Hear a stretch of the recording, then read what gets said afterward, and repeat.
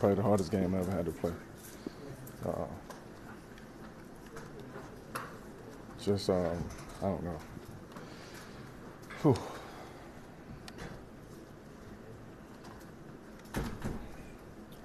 It was tough. It was tough. Why did you play?